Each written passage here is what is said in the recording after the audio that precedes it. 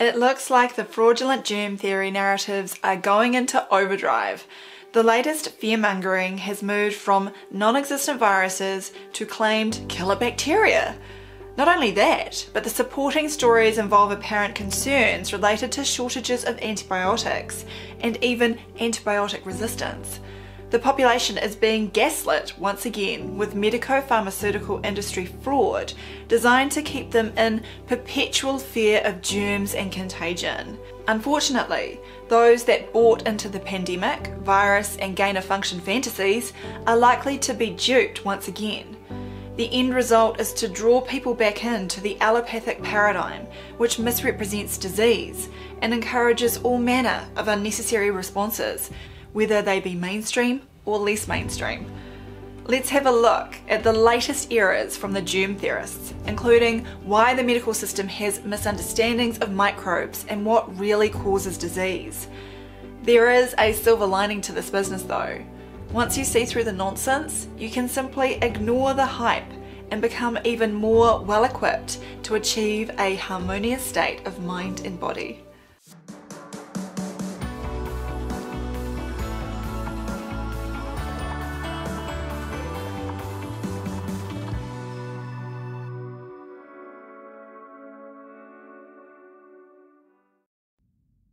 Orthodox medical men have been taught to believe that acute illnesses are diseases, that there are hundreds of different ones, each having a specific causative organism, that nature's glorious redemptive efforts on our behalf are the work of malevolent germs and must be rigorously repressed at all costs. Such colossal stupidity is bad enough but the stubborn refusal to admit what is readily apparent to the average child of tender years can hardly be too sternly pilloried. Dr. Ulric Williams, Terrain Therapy. On December the 9th, the Daily Mail featured a story 15 children under 15 have now died from killer strep A complication this winter, as health chiefs say knock on effects of COVID lockdowns may be to blame for unusually big outbreak. There is so much nonsense in the story that it will be hard to get through all of it, but let's have a look at some of the major claims. They reported that 15 children have now died from strep A in Britain this winter as the killer bug outbreak rumbles on. Strep A bacteria can cause a myriad of infections, including impetigo, scarlet fever, and strep throat. The vast majority of cases are mild. In extremely rare cases, however, the bacteria can penetrate the blood and trigger a life-threatening complication. Firstly, what is strep A? It refers to a group of Streptococcus bacteria that possess a certain antigen type on their cell wall, and one of the most promoted group A streps is Streptococcus pyogenes.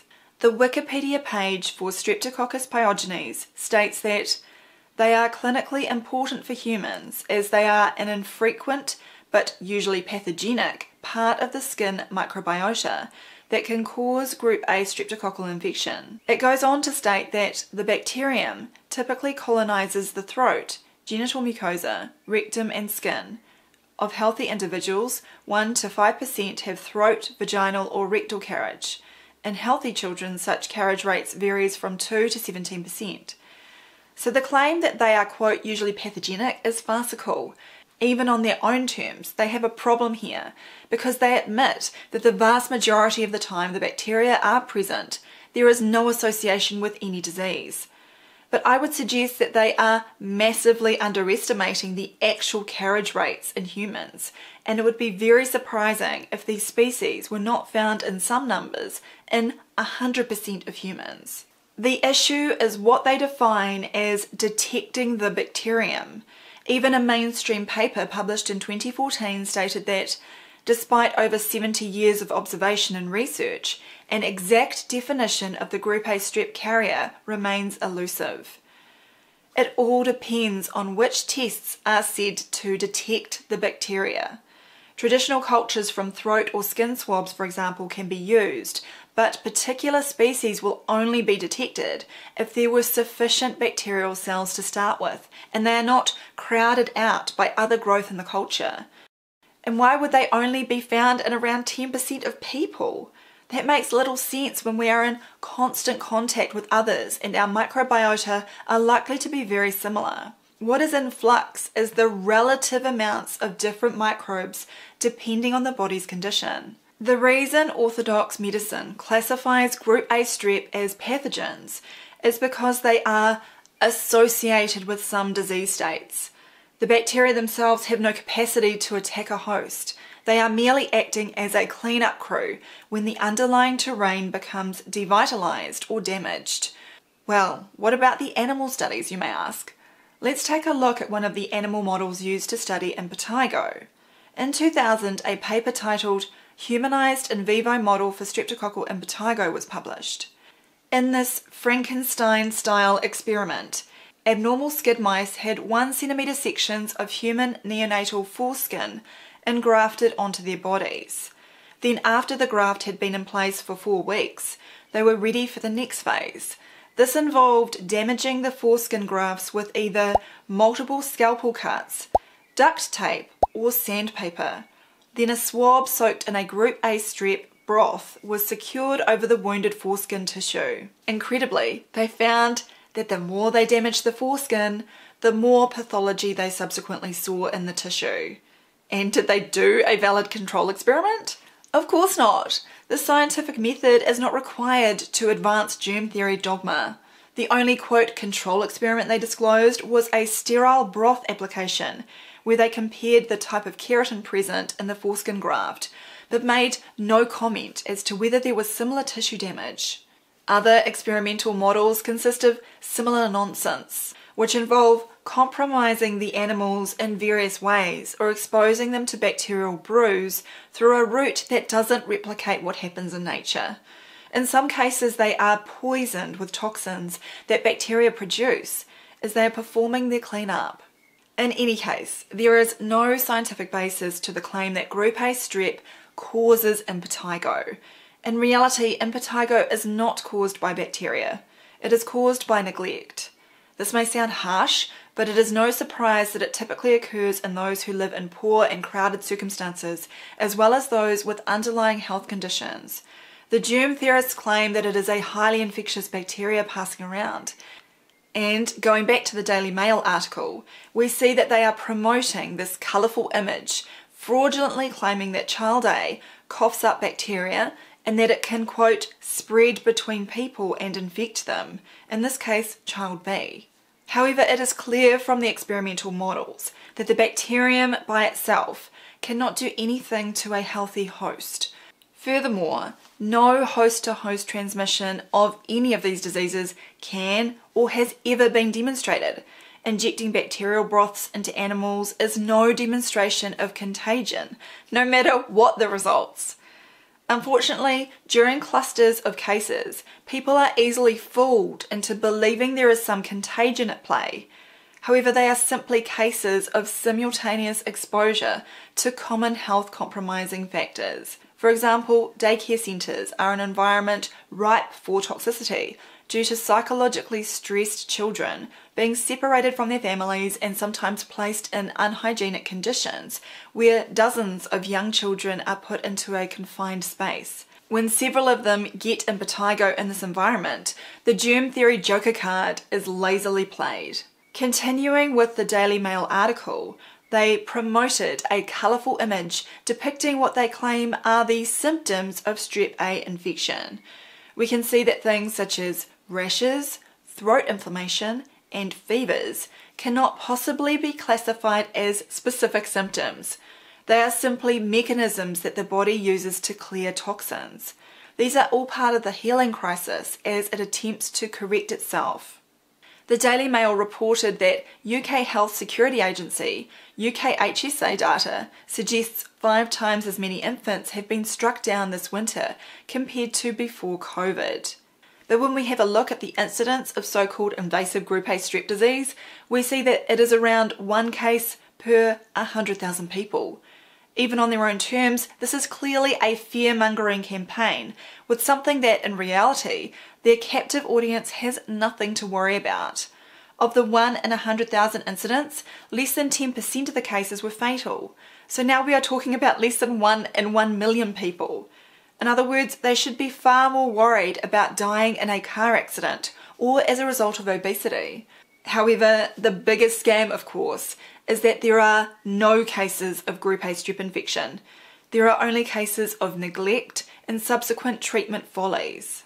To continue the malarkey, the UK HSA opined that, quote, there is usually a surge in invasive group A strep cases every three to four years, but social distancing during the COVID pandemic may have interrupted the cycle and explain the current increase.